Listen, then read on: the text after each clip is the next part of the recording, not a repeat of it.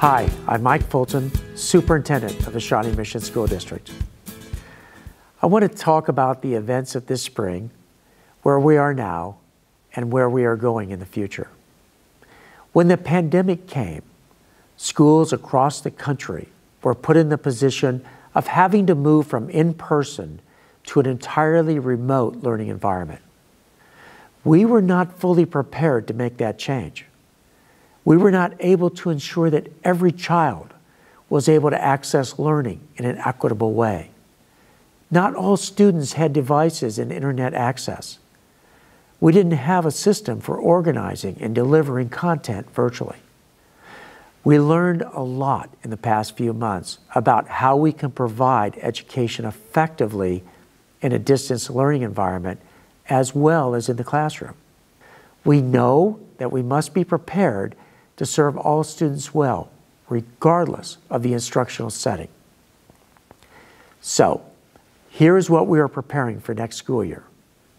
Student, staff, and community health and safety will always be a top priority. We conducted surveys and used Thought Exchange to gather the feedback of staff, parents, and students. Here are the ways we're using that feedback to inform our planning. We will continue to prioritize student, staff, community health, and safety.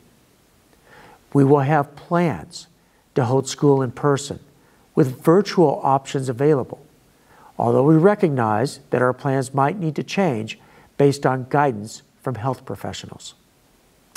We heard parents, students, and staff express frustration with our VPN, which we have used to ensure student safety online. We are planning to purchase a cloud based solution, which will be ready when school begins in August. In response to your feedback, the district has purchased Canvas, a learning management system. Canvas will allow us to streamline both digital tools and content to provide a simpler and more connected learning experience. Teachers asked for additional time for professional development, and we'll provide that. We will have clear expectations for both staff and students, including a clear and ever present focus on priority standards with assessments that lead to learning. There will be grades and required student attendance and regular connections between teachers and students. Through it all, our goal will continue to be to provide each student with a personalized learning plan that prepares them for college and careers with the interpersonal skills that they need for life success. We have teams of teachers, administrators, and staff hard at work designing what next school year looks like with options for the different scenarios that we might face.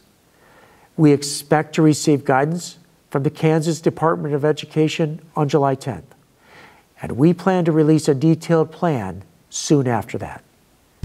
We appreciate your patience. Please know that we will be having school in August and we will be prepared to provide a high quality learning experience for all students in the Shawnee Mission School District. Thank you.